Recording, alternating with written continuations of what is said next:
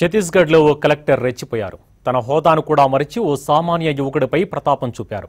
సూరజ్పూర్ జిల్లాలో లాక్డౌన్ పరిస్థితిని సమీక్షిస్తున్న కలెక్టర్ రణవీర్ శర్మ ఓ యువకుడు రోడ్డుపై వెళ్తుండడం గమనించాడు. అతన్ని ఆపి ఎటు వెళుతున్నావని ప్రశ్నించాడు. అతడు సమాధానం చెప్పినా వినకుండా అతని ఫోన్ తీసుకుని నేలకేసి కొట్టాడు. అంతటితో ఆగకుండా యువకుడి చెంప చెళ్ళుమనిపించాడు పోలీసులను పిలిచి అతన్ని చితకబాదమని ఆదేశించాడు. అలాగే అతనిపై ఎఫ్ఐఆర్ కూడా నమోదు చేయాలని హుకుం జారీ చేశారు.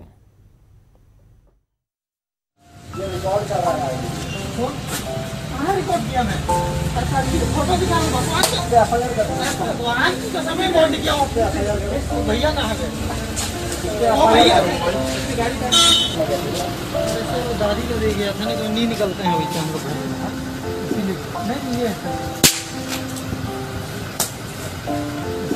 नहीं ये है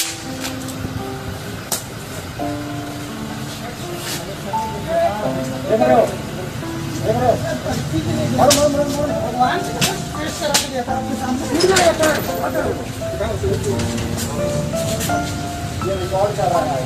फोन कहाँ रिकॉर्ड किया मैं सरकार की फोटो दिखा भगवान का भगवान की कसम है बॉन्ड किया वो ఈ ఓవర్ యాక్షన్ వీడియో సోషల్ మీడియాలో వైరల్ కావడంతో కలెక్టర్ వైఖరిపై తీవ్ర విమర్శలు వచ్చాయి దీంతో దిగివచ్చిన కలెక్టర్ రణవీర్ శర్మ యువకుడికి క్షమాపణ చెప్పారు అయితే యువకుడు తప్పుడు సమాచారం ఇవ్వడంతోనే తనకు కోపం వచ్చిందని తెలిపారు ముందు వ్యాక్సినేషన్కు వెళుతున్నారని చెప్పాడని సంబంధిత పత్రాలు చూపమని అడిగితే మాట మార్చి నానమ్మకు మందులు కొనడానికి వెళుతున్నా అంటూ బుకాయించాడని ఆ కోపంలోనే సంయమనం కోల్పోయి చేయి చేసుకున్నారని కలెక్టర్ వివరణ ఇచ్చారు गया तो उन्होंने कहा कि मैं वैक्सीनेशन लगवाने जा रहा हूं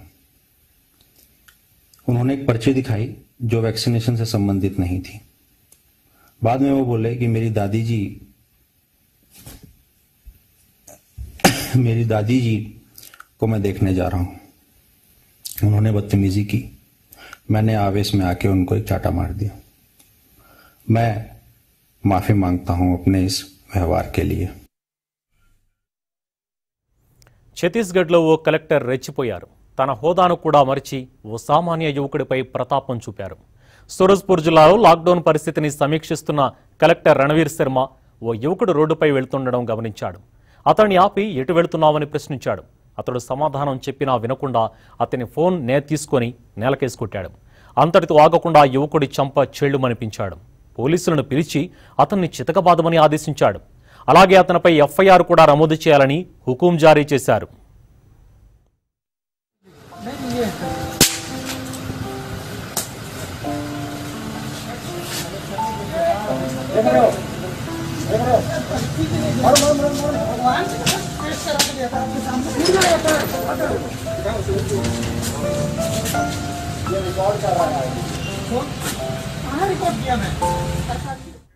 ఈ ఓవర్ యాక్షన్ వీడియో సోషల్ మీడియాలో వైరల్ కావడంతో కలెక్టర్ వైఖరిపై తీవ్ర విమర్శలు వచ్చాయి.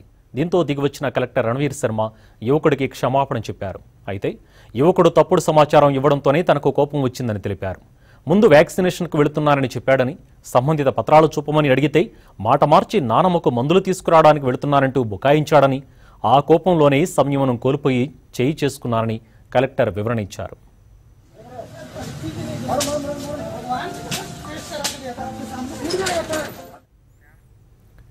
మర్డర్ కేసులో పరారీలో ఉన్న రెజ్లర్ సుశీల్ కుమార్ ఎట్టకేలకు పట్టుబడ్డాడు. పంజాబ్లోని జలంధరలో సుశీల్తో పాటు అతడి ప్రధాన అనుచరుడు అజయ్ కుమార్ను ఢిల్లీ పోలీసులు బృందం అదుపులోకి తీసుకుంది.